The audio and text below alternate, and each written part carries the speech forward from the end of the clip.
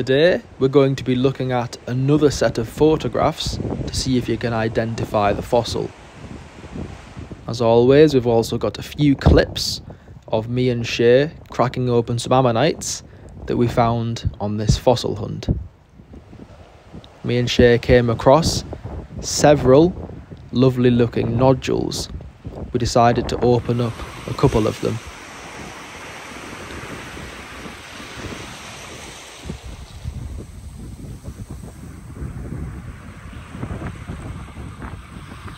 Do let me know if you're enjoying looking at the photographs to try and work out what the fossil is. Something a bit different to normal.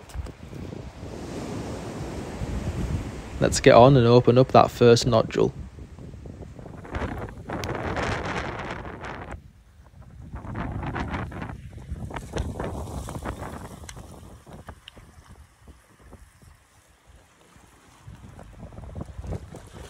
Nice little man.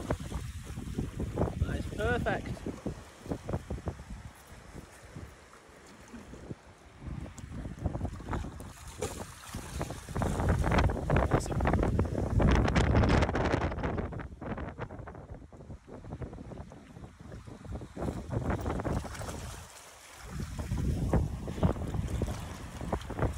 Now that we've opened up the first nodule, let's start having a look at the photographs and see if you can work out what the fossil is. Here's the first photograph. You might be able to tell that the fossil in the middle is a tooth. There's also this rather peculiar bone, which I'll explain a bit more about in just a moment. There's also some iron pyrite associated with this fossil.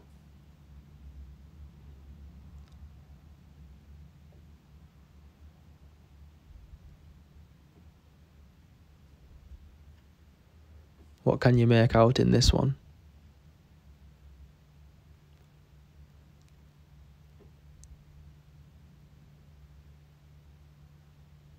Again, there's another shot there several individual fossils and a very worn tooth.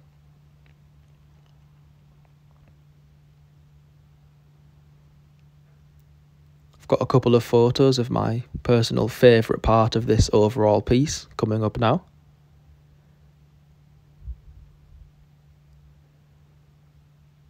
All of these rounded bones still in place.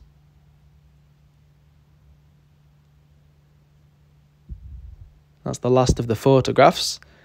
Got a video of the fossil coming up next. You might have already worked out what this fossil is. What it is, is a scattered part of an ichthyosaur which is most likely being predated. There's also this nodule sat on top of some of the bones.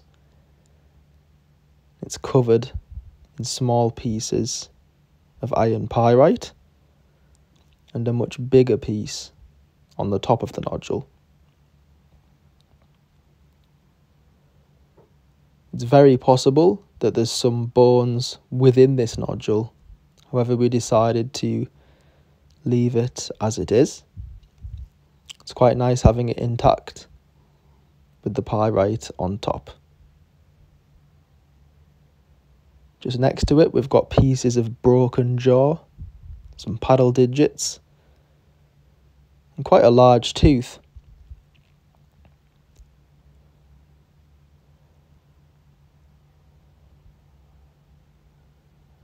lots of bits of shells crushed around and preserved next to the bones as well. You can see all different pieces of jaw pointing in various directions and what appears to be another partial tooth potentially right there.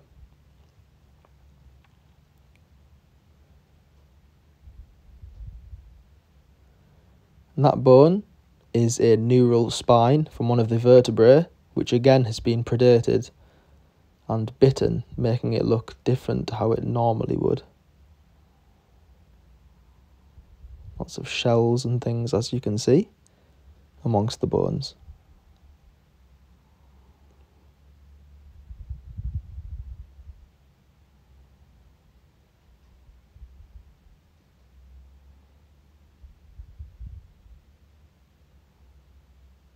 Best part of this fossil is still to come, as I showed you in some of those photos.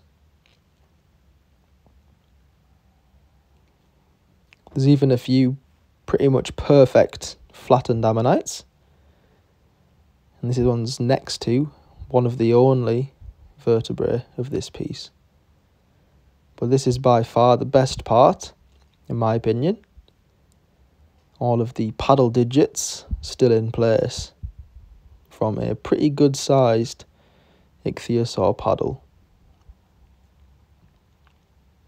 You don't often find these intact. They're very rare.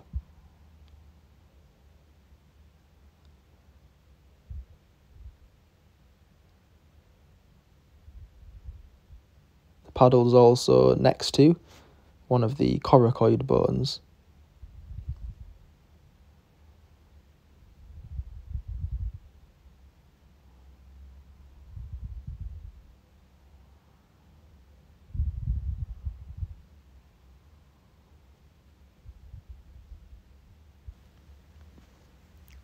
And this is the coracoid bone, which I just mentioned. It's a very large bone, which hasn't been too badly predated actually. Looks pretty much complete.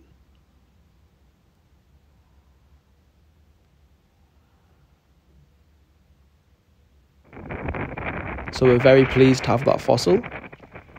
Really tells a story, especially when the bones have been predated. Now let's see Shae opening up another ammonite.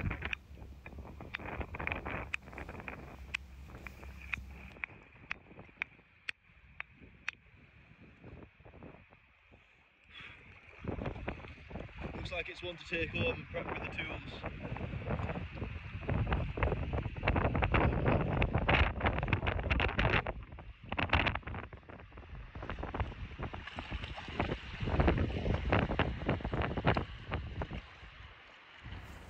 I hope you enjoyed that part of the video.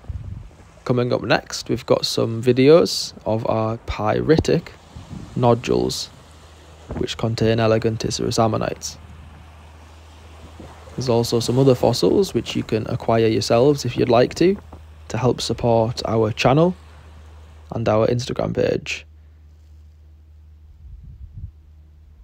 My brother does this full time, and my dad also prepares fossils full time now. So all support to help the channel is really appreciated. Here's a look at some of the pyritic fossils which my brother and my dad have recently prepared.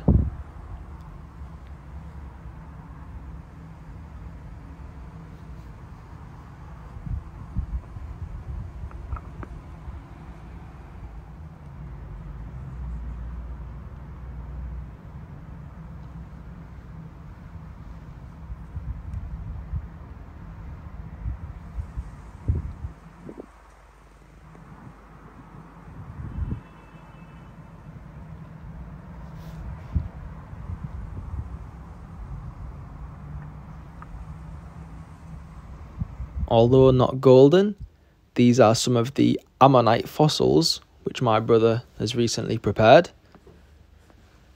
I think he's done an incredible job.